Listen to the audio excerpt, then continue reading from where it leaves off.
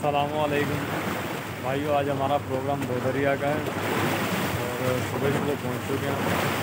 बाकी दो दरिया पे आज संडे का दिन है तो बहुत ज़्यादा रश चल रहा है।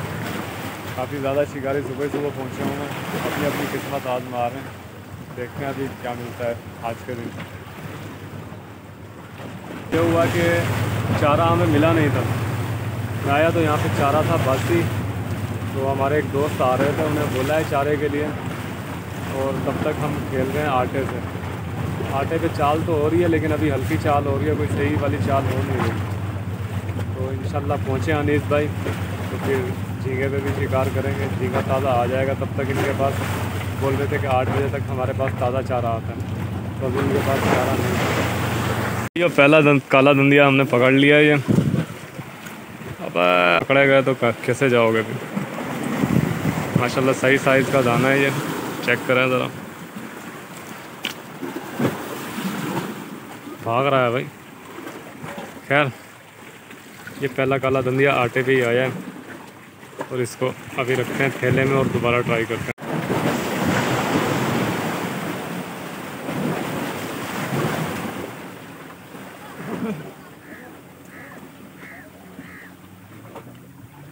लगा कहाँ हमारे पास। ऐसा लगता है जैसे बिस्तर की डोरी कर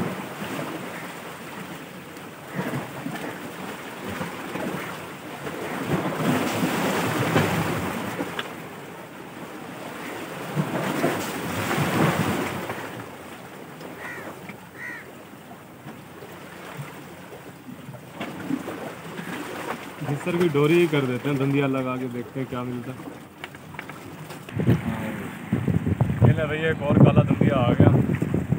ये तीसरा शिकार है, दूसरा शिकार जो था, वो हमने घिसर के लिए कांटे पे लगा दिया लेकिन वो कांटा ही लेके भाग गया तो अभी तो उतार लगा हुआ है, कोशिश जारी है अभी भी।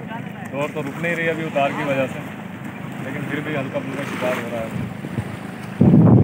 भाई, ये हमारे हारिस भाई आए हुए हैं दो दरिया पे और इन्होंने माशाल्लाह काला दंदिया निकाला है, और वीआईपी साइज़ का। कम से कम तीन पाव का दाना निकाला है। हारिस भाई अक्सर हमारे ग्रुप में कहते हैं भाई हम बड़ी मछली पकड़ते हैं छोटी मछली नहीं पकड़ते। सही है भाई। ठीक है भाई हारिस भाई। अच्छा शिकार सही हुआ तुम लोगों का? बताओ। कहाँ है मछली? मछली तो उठाओ। उठाओ उठाओ उठाओ मछली। और भाई शिकार मारा है भाई सबने। ये देखो ये मुयासिब ने मारी है। मछली मार ली अब ये थक गए हैं अब जा रहे हैं घर मछली खाने के लिए है भाई। वीआईपी हो गया शिकार। भाई, अभी तो दुकान लगा हुआ और दौड़ भाग रही है तो अभी ये छोटे बच्चे आ रहे हैं, काले दंदिए के। और आज हमारा मूड तो है पूरा दिन गुजारने का। अब देखो कब तक इस धूप में हमारा सफ़र चलता है, हमारे साथ। कोशिश तो होगी कि बड़े दंदिया भी मार के लेके जाएँ। आज दंदिया खाएँ ज़रा, जाके घर और दंदिया आया अभी अभी डोर फंस गई थी इस वजह से इसका मुँह तो पूरा फट गया। लेकिन निकल आया बाहर ये।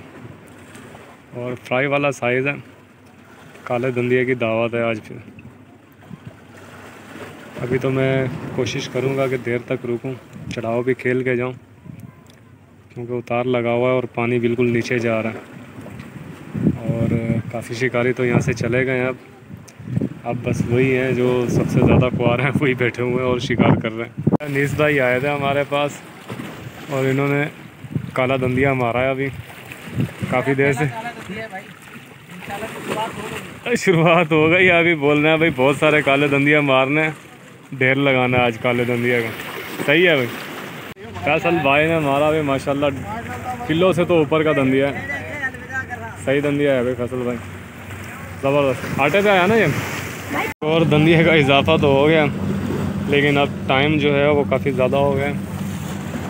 आप यहाँ पे रश देख सकते हैं लोगों का। दो दरिया पे काफ़ी ज़्यादा रश है। इस वजह से अब डोरों पे डोरें आ रही हैं और शिकार खेलने का मौका सही से मिल नहीं रहा। क्योंकि हर बंदा ही शिकार करने की कोशिश कर रहा है। तो मसला हो रहा है थोड़ा, लेकिन शिकार भी हो रहा है। दोस्तों, हमें आज मिले थे यहाँ पे शाहिद भाई, अनीस भाई और फैसल भाई हो गए। इसके अलावा आए हुए थे यहाँ पे हारिस भाई। उनसे मुलाकात भी हो गई। वो तो सारे हार मान के चले गए। फैसल भाई ने, माशाल्लाह, एक दाना निकाला है। अब ये भी थक चुके हैं। रश ज़्यादा हो गया, डोरियाँ आपस में उलझ रही हैं। तो जाने की तैयारी में है ये भी। मैं भी निकलूँगा थोड़ी देर में। छः दाने पकड़े हैं हमने आज। काला दुनिया उनमें से एक ही बस आधा किलो का है, बाकी सारे छोटे हैं।